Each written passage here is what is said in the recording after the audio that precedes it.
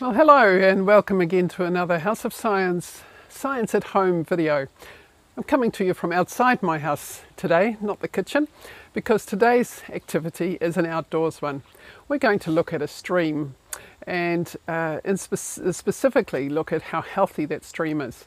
Now, this is an activity out of our water analysis kit, and we're going to do just a couple of the activities out of this kit, definitely not all of it. So what you're going to need today is some sturdy shoes and a, uh, a, nice day so that you can go for a walk and find a stream near your house. And when you get to that stream, you're going to need um, some, some ways of investigating a little bit. Now I've got a cute little net like that. You might have one of these at home. If not, then a, um, a sieve will work just fine. You're going to need some sort of container because you want to collect a few of the bugs hopefully, that we find in our stream. So a container, just any plastic container will do.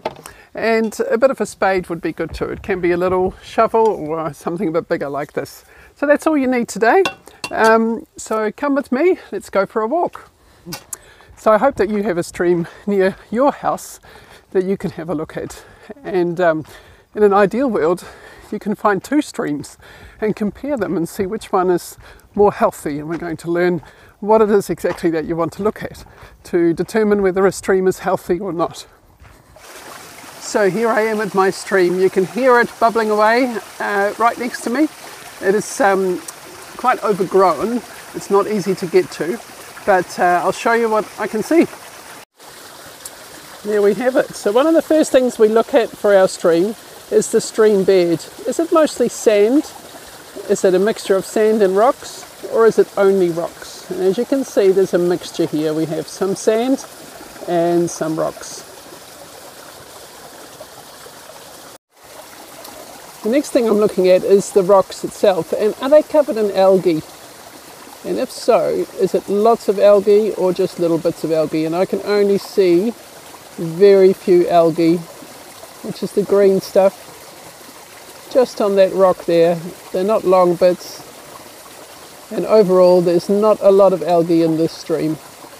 Next we're looking at whether there is any um, pools which are deep places or riffles which are um, like little rapids or runs which is deeper deeper water that connects the riffles and the pools. Now there's a little pool here and there's some uh, run there and behind me you can hear the riffle.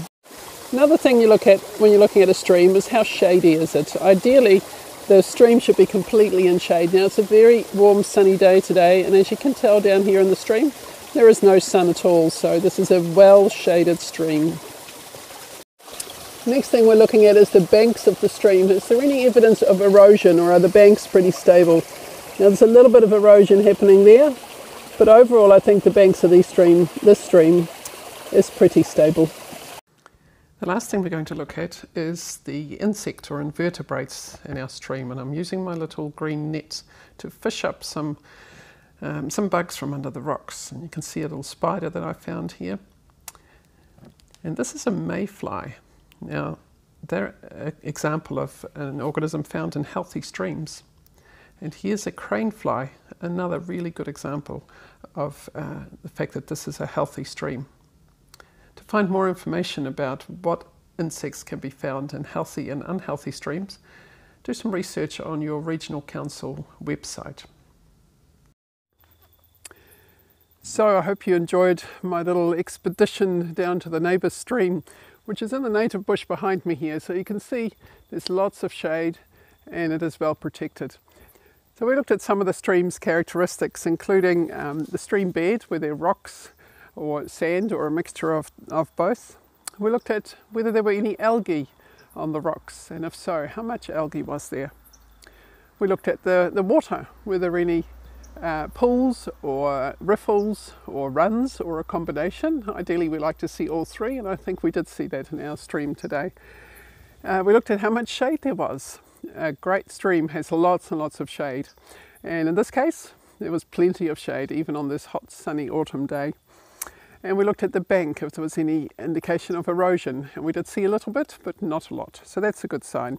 And lastly, we looked at the invertebrates or the animals that can be found in the stream. We found a few, not a lot, but what we did find was really promising.